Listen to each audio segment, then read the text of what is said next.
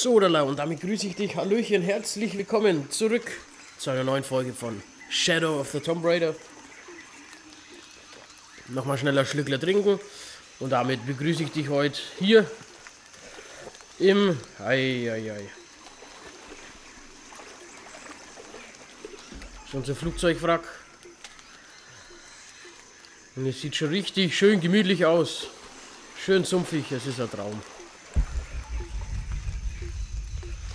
Es ist ein Träumler. So, wir müssen jetzt hier nach Überlebenden suchen. Ich hoffe, unser Freund, ich kann mir ganz schlecht immer Namen merken. Dr. Dominguez habe ich schon drauf. Miguel, danke. Alter.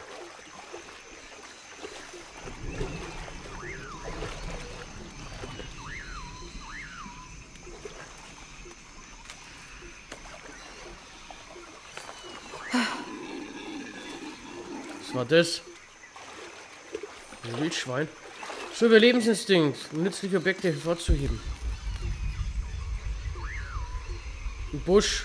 Ah, super.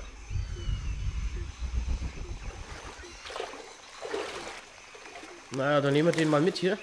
Das könnte ich gebrauchen. Ja.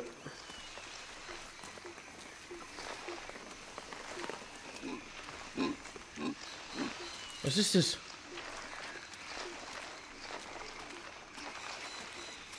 Oha, Luden, Luden, Luden. So, Hartholz.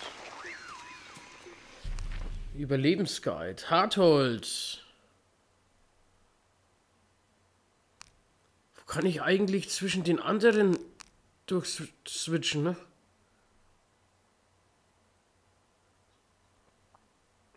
Ah, hä? Kapier ich nicht. Wir könnten ja aber auch noch mal, ich zeige euch noch mal die Optionen, ähm, Schwierigkeit, ähm, Geländeschwierigkeit, dezente Weise Markierung auf wichtigen Pfaden. Es ist leicht offensichtlich, Weise auf wichtigen Pfaden und mehr Zeit für Rettungsgriffe. Basislager sind aktiviert. Das würde mich halt jucken, ne?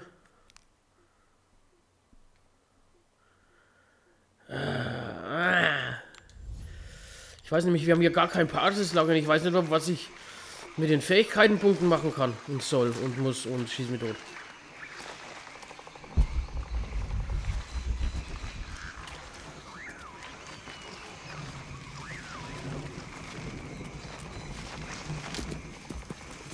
Was war das?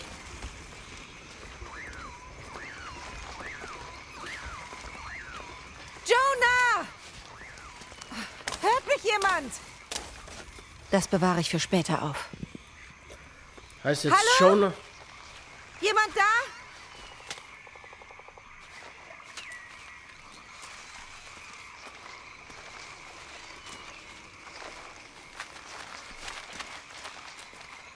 Heißt jetzt Jonah oder Miguel, unser Kumpel?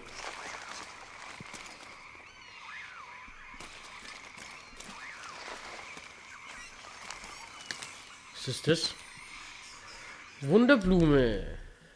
Konzentrationpflanzen sind meist gelb und können in Kräutermischungen benutzt werden, um für begrenzte Zeit Konzentration zu aktivieren. Das ist doch der herrlich. So, da gibt es zwei von 24 insgesamt.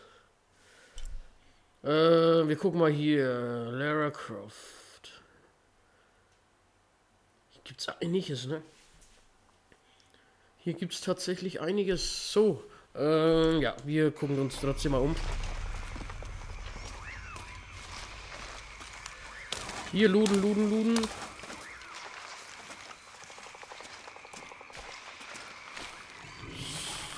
So, ich versuche immer diesen Fokus in Anführungsstrichen. Versuche ich immer so wenig wie möglich zu benutzen.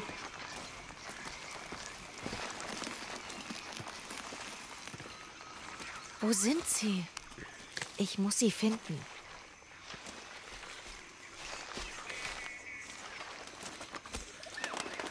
Ich muss aufpassen, wo ich hinter ne? Ich bin zwar hier im Dschungel.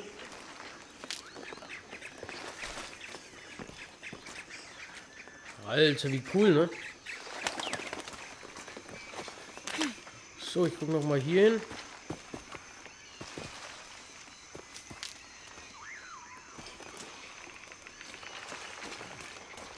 Jetzt wird's Tag oder was? Ich glaube, ich spinne hier.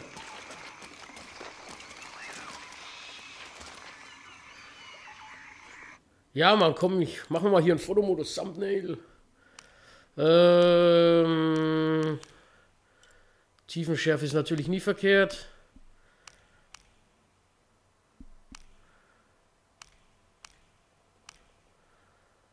Pose, Körper.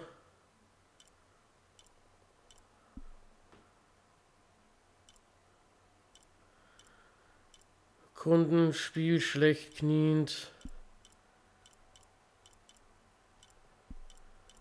Lehreranzeigen aus, meine Güte.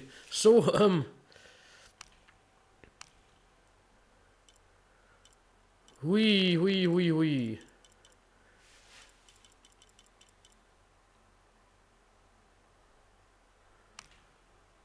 So, wir machen erstmal die Tiefenschärfe an.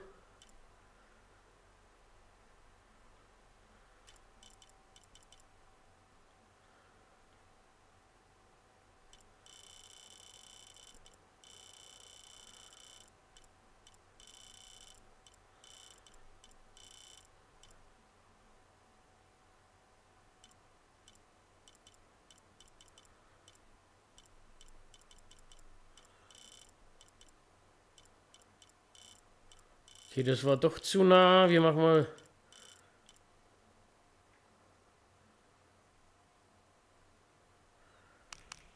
Sehr schön. Dann gucken wir mal, was wir hier noch haben.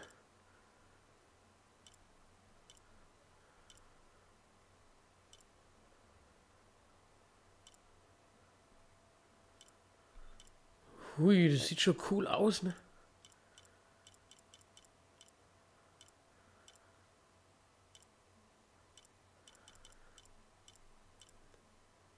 Das, das sieht auch ziemlich cool aus, aber ich denke mal, das ist zu dunkel, ne?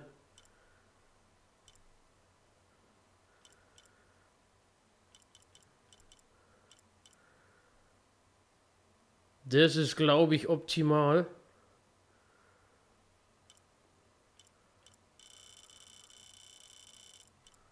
Den sieht der natürlich dann volle Bulle normalerweise, ne? Außer...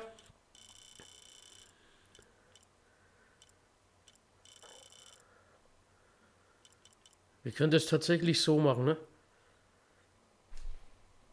Ja, Mann, geil. Geil, geil, geil. So, da machen wir auch nochmal hübsches Familienfoto für alle. Und dann, äh, ja, können wir das, denke ich mal, gut als Thumbnail nehmen, oder? Alter, das sieht schon cool aus, ne? Es sieht schon cool aus hier. Ja, Fotomodus will ich beenden. So. Egal, wir müssen weiter.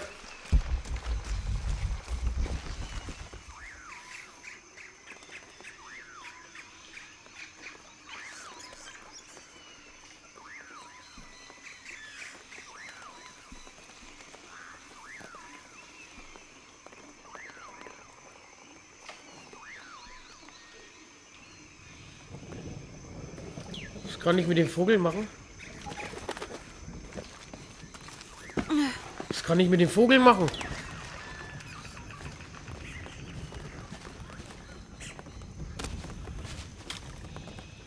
Was ist da oben? Was ist das für ein Viech da? Okay, ähm, wir gehen mal nach oben.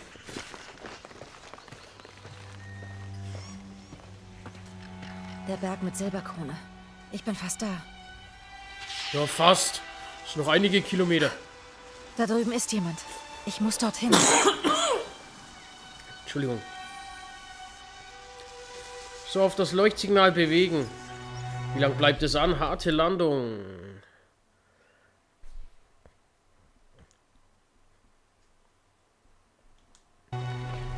Ah, es ist ganz, ganz komisch. So, wie kommen jetzt hier runter wieder? Ach, das sieht aber auch schon cool aus, ne? Ich glaube... Entschuldigung, wir müssen nochmal Fotomodus machen. Äh, wo ist die gute Frau? Leere aus. Tiefenschärfe an.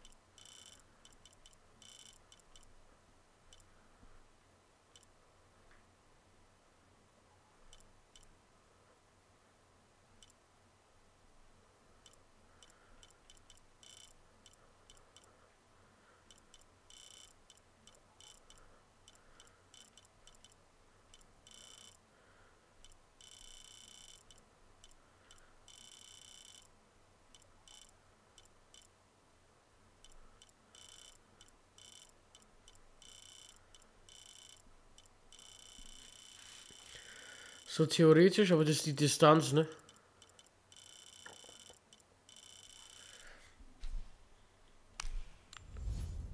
Okay, sieht aber trotzdem cool aus, ne? Ah ja, sieht sehr, sehr cool aus. So, wir laufen mal hier den Pfad entlang. Ach du Leute. Was kann ich mit den Vögeln machen? Oh, da ist ein Vogelnest. Guck mal, wie süß. Alter, wie cool.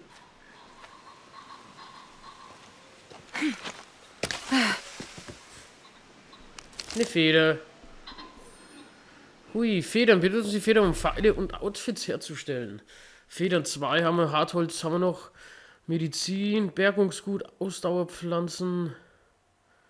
Stoff, Golderz, Konzentration, Pflanzen. Gefunden in Vogelnestern auf Bäumen und anderen erhöhten Positionen, die in der Herstellung von geräuschlosen Pfeilen und Outfits. Jawöchen. Klappt es? Eieiei.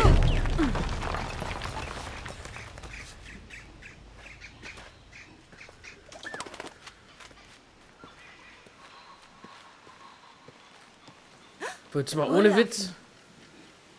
Wo? Ach, der. Boah, das hat schon ein Ding voll den HDR, ne? Irgendwie Ding. Weißt du, wie ich meine? Schon ohne HDR sieht das schon übelst geil aus.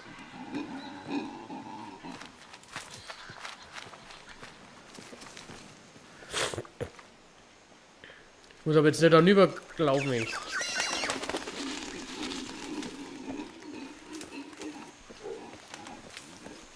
Da ist noch mal ein Brüllaffe. Ach, das sieht schon sehr, sehr cool aus hier. Nochmal eine Feder. Loot, Loot, Loot. Da ist ein Wrack da hinten. Oh. Oh, abgerutscht. Okay. Nächster Versuch.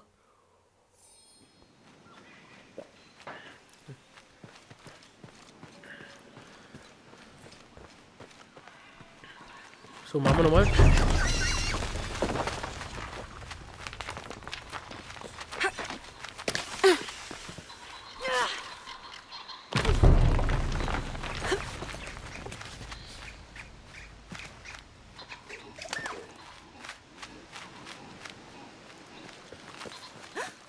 Brüllaffen. So, sehr schön. Okay, wir müssen hier entlang. Machen wir jetzt mal hier ein bisschen flockiger, zackiger.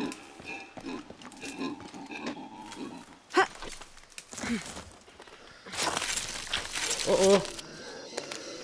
Was ist das für ein Lager? Ih. Ach, okay. Äh. Wer ist das? Ein Feuer. Hier muss jemand sein. Hallo? Jonah! Miguel! Hört mich jemand? Wo seid ihr? So, Karte durchsuchen. Ja, das ist alles schön und recht.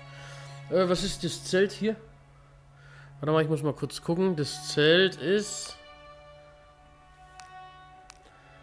Basislager, jawohl, ja. Piratischer Dschungel 0 abgeschlossen, gratuliere.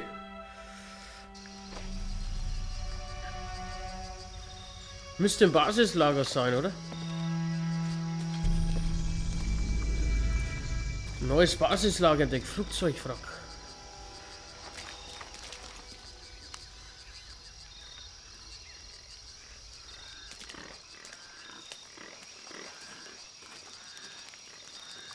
Kann ich hier machen? Luden erstmal.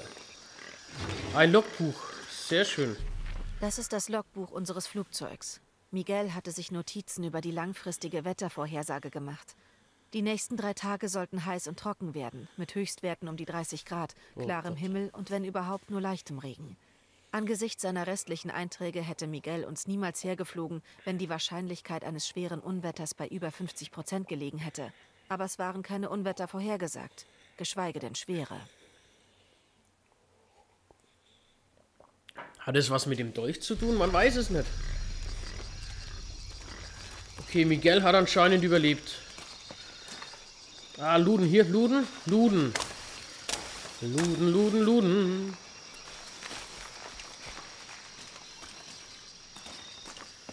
So, wir schauen uns jetzt noch mal kurz hier geschwind um.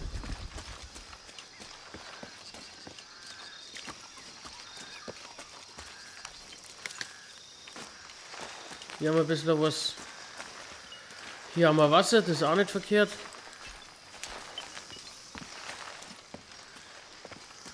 Ah, was ist das?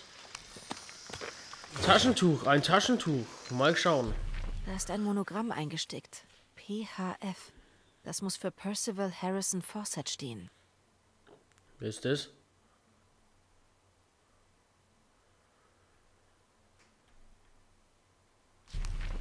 Man weiß es nicht, aber Pfad der Sterne, Artefakte, gratuliere aus Laras Notebook, Exodus, Metamorphose haben wir. Okay.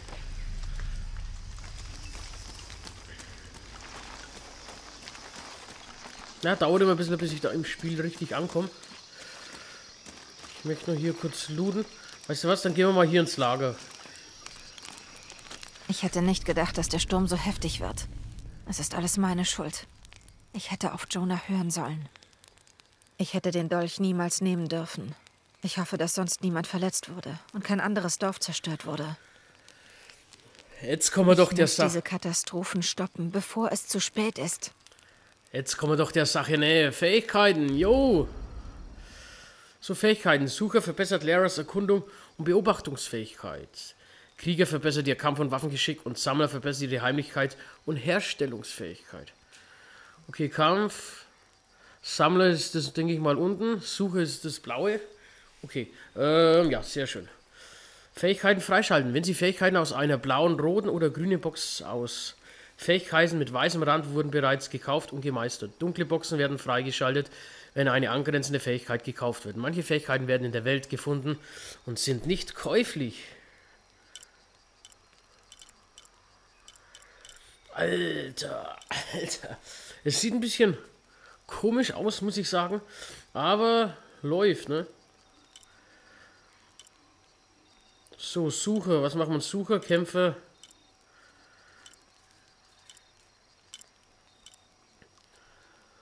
Sammle automatische Plündern von Feinden nach Lautlos-Kills.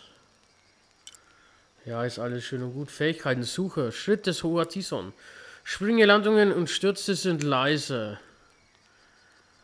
Okay, dann haben wir hier Mal der Eule. Erhalten Sie die Fähigkeit, Pfeilgift und Toxin von Spinnen und Käfern zu sammeln. Provisorische Messer zum Sammeln benötigt. Herzensbrecher. Sehen Sie die Herzen großer Tiere mit Überlebensinstinkt. Herztreffer verursachen massiven Schaden. Was sind das für coole Dinge? Blick des Adlers. Sehen Sie Artefakte, Monolithen, Archivkarten, Forschertaschen und Schatztruhen mit Überlebensinstinkten. Das nehmen wir doch mal gleich. Sehr schön. So, dann hat er aber hier was freigeschalten und zwar Liste der Krähe. Erste Schritte. Gratuliere. Suchen Sie Fallen mit Überlebensinstinkte. Okay, das ist. Die Weisheit der Eule. Sehen Sie Herausforderungsobjekte mit Überlebensinstinkt, okay? So, Erholung des Pumas. Erhöht die Zeit der genauen Zielens bei aufgeladenen Schüssen. Bedrohung des Fuchses. Das Zielen auf dem Kopf eines Feindes aktiviert die Kopftreffer Zielunterstützung. Das ist nicht verkehrt. Eil, sie fallen nie, wenn sie, von, wenn sie nach Kanten greifen. Schnellere Reaktionszeit bei Fallen und im Kampf mit Feinden. Das ist nicht verkehrt. Und Fall des Fuchses. Reduziert erlittenen Schaden von tiefen Stürzen. Drücken sie beim Aufprall, um zu retten und keinen Schaden zu ereilen. Okay. Schlag der Schlange. Führen sie lautlos Kills durch, ohne Alarm auszuführen. Das ist nicht verkehrt. Sie können schneller schwimmen, ist nicht verkehrt. Und automatisches Plündern von Feinden. Ja, ich denke mal.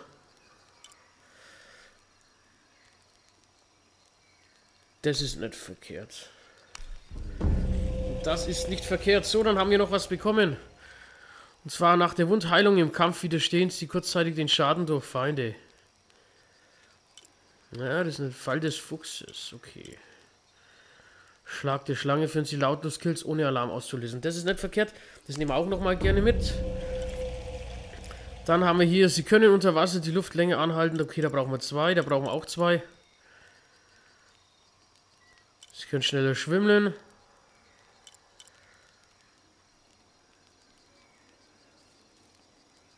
Springgelandung sind leise. Erhöhen Sie die Fähigkeit Pfeilgift.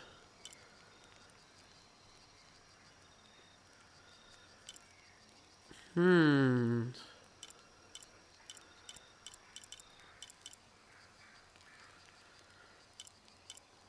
Suche, was war Suche nochmal? Ja, komm, nehmen wir das. Wir müssen sowieso was machen. Aträumle, Aträumle, Aträumle. Sehr schön. So, dann hätten wir das schon mal wenigstens. Dann... Okay, auf das andere haben wir bis jetzt noch keinen Zugriff. Ich bin begeistert. Sehr schön. Ähm... Ein Teil des Flugzeugs ist hier gelandet. Meine Sachen sind in der Fracht. Ich muss sie losschneiden. Ja. So, ein Werkzeug finden Sie in der Ausrüstung, um aufzuschneiden. Ach, ein Werkzeug finden, okay. Da ist auch irgendein komisches Tier. Da hinten blinkt was.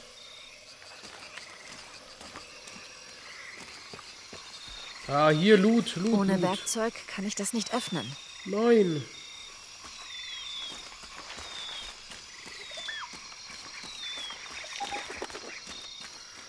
Es hat aber da hinten was geblinkt, ne?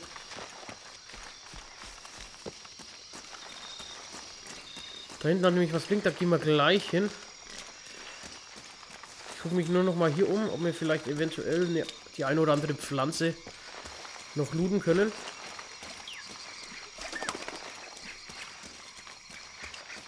Ja, hier, guck mal.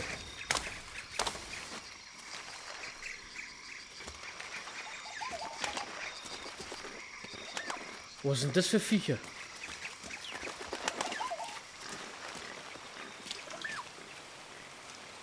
Ah, ich brauche ein Messer.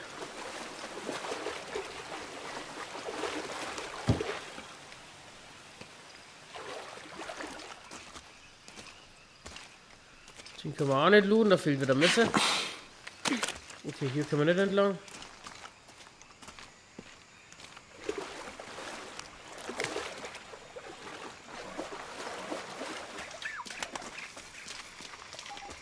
Ich hoffe, die Viecher machen uns nichts, ne?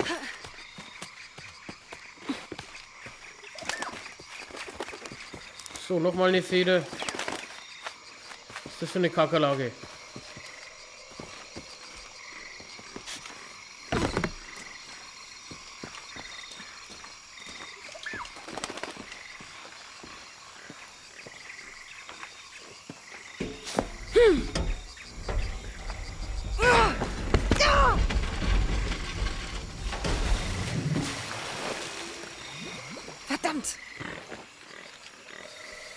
Super Lara.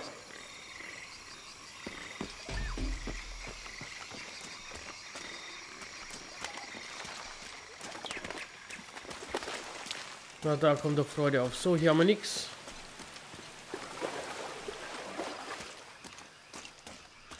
Hier haben wir einen Kadaver und ich, ihr seht, hier wir waren hier gerade schon. Okay, ähm. Hier, den nehmen wir noch mit.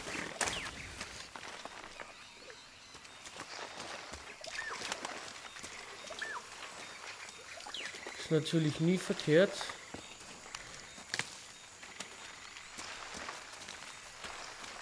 Ist nur ein Baumstumpf.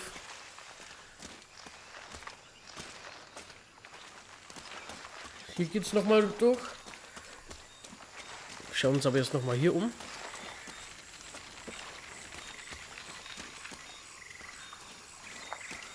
Okay, das wäre nicht schlecht, wenn wir jetzt hier irgendwie mal was zum Schneiden finden würden. Ah, guck mal her. Loot, Loot, Loot.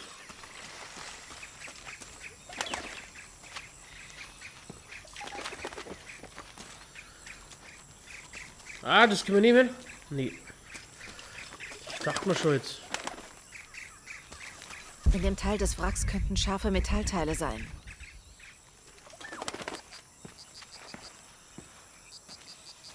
So, wir nehmen mal die Vogelfeder.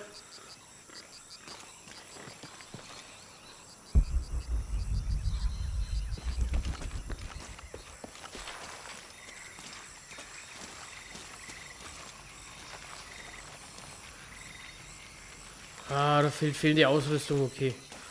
Wir müssen jetzt erstmal was Spitzes finden.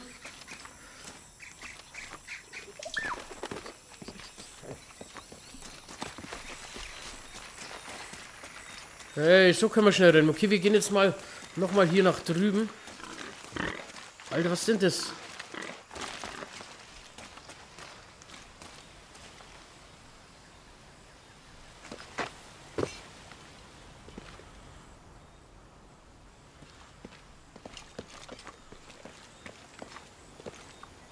Oh, oh, was ist das?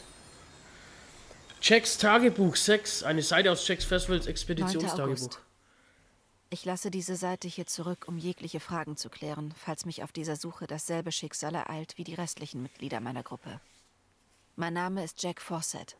Ich bin am 20. April 1925 mit meinem Vater Percival Harrison Fawcett und meinem besten und ältesten Freund Raleigh Rimmel in Chuyaba, Mato Grosso aufgebrochen, um nach Seth zu suchen. Ich bin als einziger von uns noch am Leben. Mein Vater fiel zwei wilden Dschungelkatzen zum Opfer. Raleigh starb durch unsere Sorglosigkeit. Ich selbst bin am Ende meiner Kräfte, weigere mich aber aufzugeben. Mein Vater war überzeugt, dass wir ganz in der Nähe von Seth sind, und ich teile seine Einschätzung. Also lasse ich zwei Gräber zurück und gehe weiter nach Westen, in der Hoffnung, nicht in mein eigenes Verderben zu laufen. Ach ja. Okay, das sagt ich hoffe, wir haben jetzt das letzte Tagebuch von dem gefunden, ne?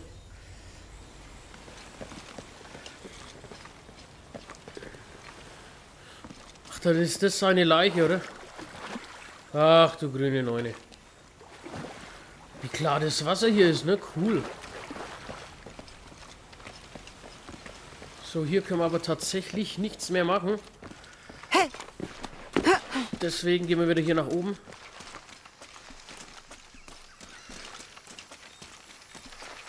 Wir schauen jetzt mal, ob wir hier echt was finden.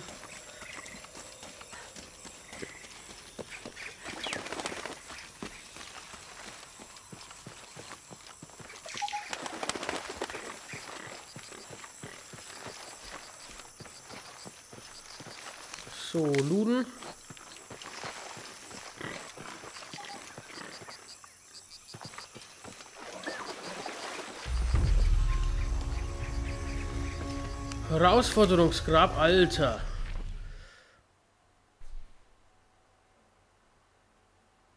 Was ist das? Das ist das Grab, okay.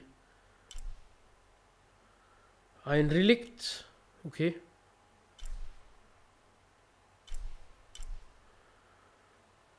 Ein Dokument. 13 Dokumente gibt es hier. Peruanischer Dschungel, willst du mich verarschen? Alter. Okay, ähm, die, wo so grau sind, die haben wir schon, ne?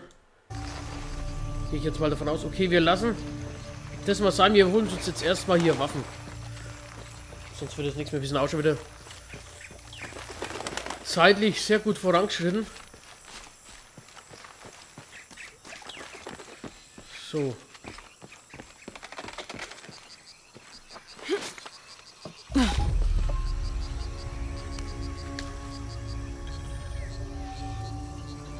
Giftbeere.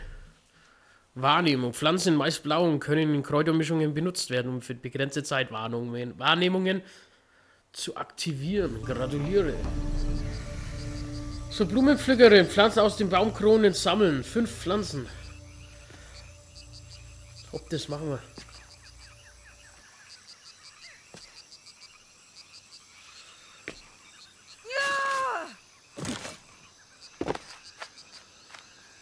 Hier will ich aber noch gar nicht hin. Hier will ich doch noch gar nicht hin.